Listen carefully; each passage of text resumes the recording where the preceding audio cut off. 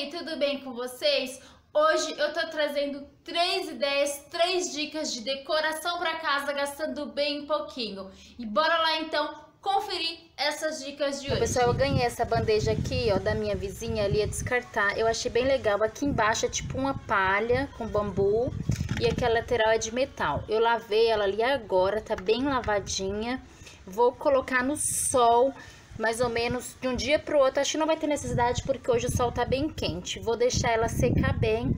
Aí depois eu venho dar uma repaginada nela, mostrando para vocês aí como que vai ficar. Mas eu achei linda essa peça. Vou usar lá na minha cozinha. Bom, pessoal, então, ó, aqui tá a bandeja, né? Como vocês viram, olha só, ela tá um pouquinho zoada aqui, tá bem antiga, né? E a palha também tá um pouquinho estragada. Eu vou tentar colar essa palha usando, então, a cola quente. Depois eu vou pintar é, essa bandeja aqui, ó, onde tem o metal, com a tinta Color Gin é, na cor é, cobre.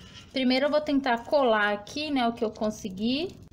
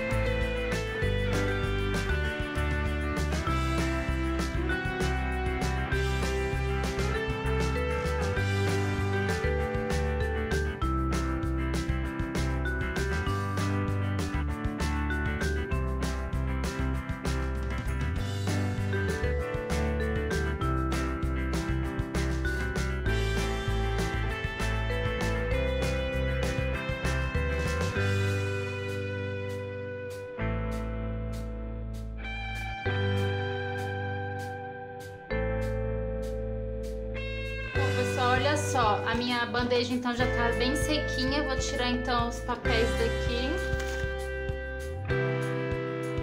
Ó, aí eu tirei o papel, olha só, ficou como nova. Aqui que ficou aparecendo escuro, ó. Mas aí não vai ter jeito, vou ter que usar ela assim mesmo. E quando eu colocar as coisas aqui, esse fundo não vai aparecer tanto, né? Mas eu adorei aqui a pintura, adorei o resultado.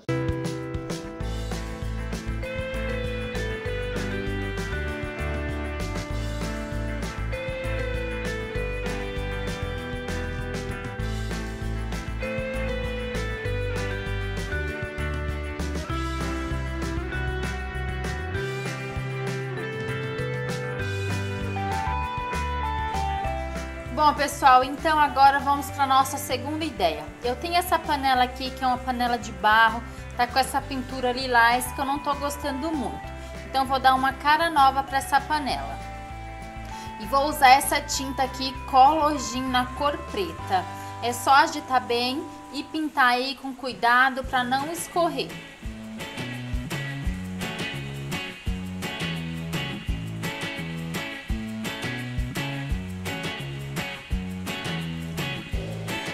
Depois que a peça estiver toda pintada, é só aguardar a tinta secar por 24 horas.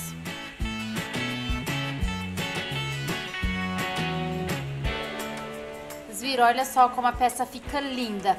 Vou colocar na minha sala. Olha só isso, gente. É um detalhe muito simples, apenas uma demão de tinta já transformou a peça e ela ficou linda aqui na minha sala.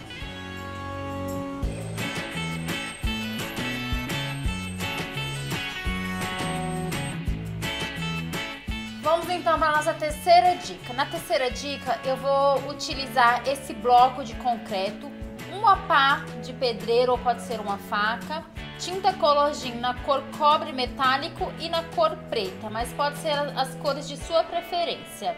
Fita crepe, para a gente isolar a área que a gente quer pintar.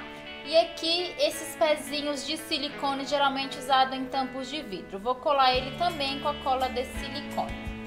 Primeira coisa, com a colher ou uma faca, você vai raspar o bloco para tirar essas imperfeições. Ou uma lixa grossa, você também consegue deixar essa parte de cima mais lisinha aí, com, com a cara mais bonita. Depois de raspar tudo, pegue um pano úmido, tire todo o pó desse bloco para que ele possa receber então a tinta. Feito isso, vamos fazer então as marcações com a fita crepe ou desenho conforme você quiser aí, para depois vir fazendo a aplicação da tinta.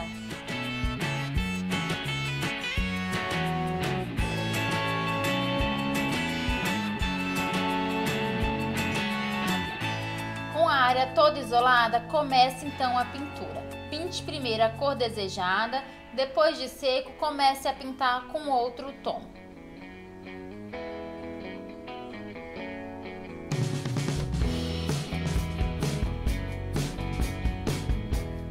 Depois de tudo pintado e seco, já tirei as fitas, agora faço a aplicação dos pezinhos de silicone.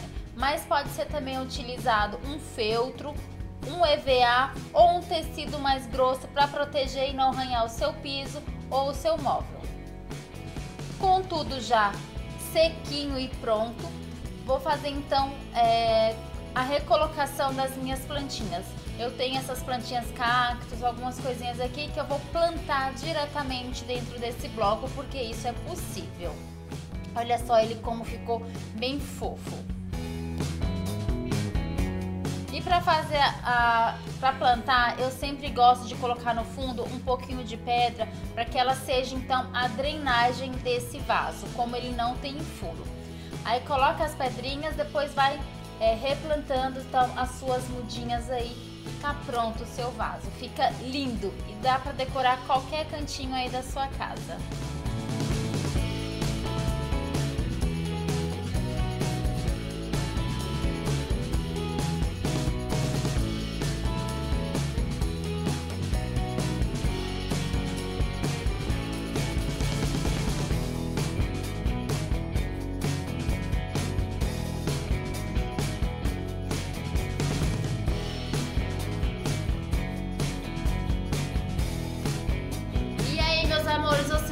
São ideias muito simples, muito fácil, que você dando um toque especial aí, fica lindas peças decorativas aí pro seu cantinho, pra sua casa.